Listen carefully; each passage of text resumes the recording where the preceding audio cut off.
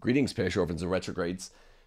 90 year old Cardinal Zen has been arrested by the Chinese on trumped up charges.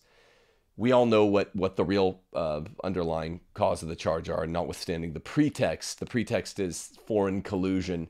He is part of the real, authentic Chinese church, not the communist Chinese party sponsored Catholic Church. And so he's been arrested about 12 hours ago. This is just hitting American media right now. 12 hours in, and we still have not heard hide nor hair from Pope Francis. I'm going to read to you from this uh, National Review article. Cardinal Zen on the road to martyrdom.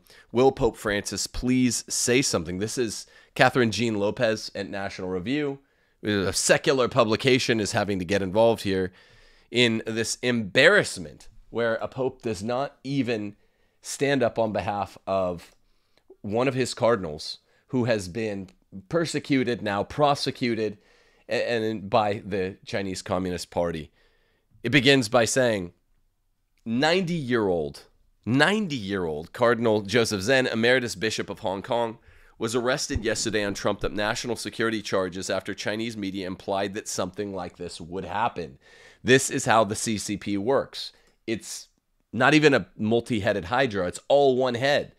The official Chinese news tells you what they're going to do before they do it. So they were insinuating all of last week that Zen was in real trouble for being a Catholic, not being part of the CCP Catholic Party, but the real underground church in China. We've been talking about this for two years, at least two and a half years. Raymond Arroyo has had great coverage on World Over consistently.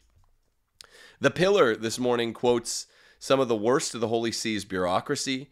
Archbishop Paul Gallagher, a diplomat in the Secretariat of State there, said in the last year that obviously Hong Kong is the object of concern for us. Lebanon is a place where we perceive that we can make a positive contribution. We do not perceive that in Hong Kong. That's from earlier in the year. What did he mean?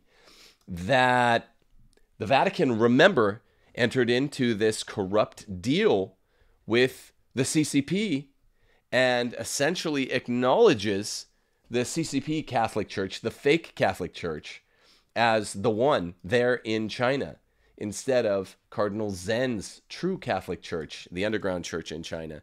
And now he's been arrested, and we have not heard anything from Pope Francis. There needs to be a popular outcry. Pope Francis, please say something to Vatican uh, uh, trade partners, the CCP. The truth is the truth. Cardinal Zen has been living his life ready to be martyred. Not only is silence perceived to be tacit support for the evil ways democracy advocates uh, and the church are, are, are being treated, but what a betrayal of everyone who is speaking out and putting their lives on the line for freedom in Hong Kong. Okay.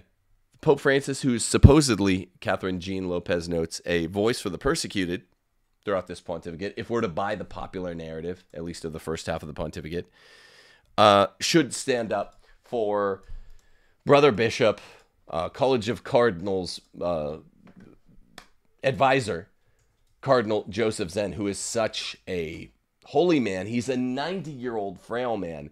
This is an outrage, and I hope all of you are outraged that this has happened. And it's an outrage also that this happened technically yesterday in the Far East there without hide nor hair from Pope Francis. Not a ton of analysis to be done at this point, aside from this is what the evil CCP does. They arrest political dissenters. Cardinal Zen is, in some sense, the greatest threat to the CCP, uh, high ranking, highest ranking uh, Catholic Chinese prelate who refuses to truckle, who refuses to uh, kneel to the fake Communist Party there in China. So as this story breaks, keep your eye on the news. It's going to develop more and more and more. And this is just hitting American media now. What you need to do is write your bishops, make sure your bishops know that this is not acceptable. We know about it here, and we're not going to stand for it. And Pope Francis shouldn't stand for it either. His trade partners, the Chinese, are officially now, officially now, prosecuting Cardinal Zen, and they've been saying they're going to do this for a while. Saber rattling, non verbally, for the last uh, months and years. officially saber rattling verbally over the last week or so, and now he's gone and been arrested. Pray for Cardinal Zen, everybody. Let's pray uh, in our Father uh, for this most holy man in the church, somewhere between white and red martyrdom, seems to be his fate. In the name of the Father, the Son, and the Holy Spirit, amen. Our Father, who art in heaven, hallowed be thy name. Thy kingdom come, thy will be done, on earth as it is in heaven. Give us this day our daily bread, and forgive us our trespasses, as we forgive those who trespass against us. And lead us not into temptation, but deliver us from evil. Maybe say Saint Michael too. Yeah, well, let's, yeah, same same deal. Saint Michael the Archangel, defend us in battle, be our protection against the wickedness and the snares of the devil. May God rebuke him, we humbly pray. And do thou, O Prince of the heavenly host, by the power of God, cast into hell Satan and all evil spirits who prowl about the world, seeking the ruin of souls. Amen. Saint Michael the Archangel, pray for Cardinal Joseph Zen. Saint Mary, seat of wisdom, Mother of God, pray for Cardinal Zen. Saint Joseph, protector and scourge of demons, pray for Cardinal Zen. God bless you all and keep your eye on this story as it develops. God bless you, parish orphans and retrograde. Stay as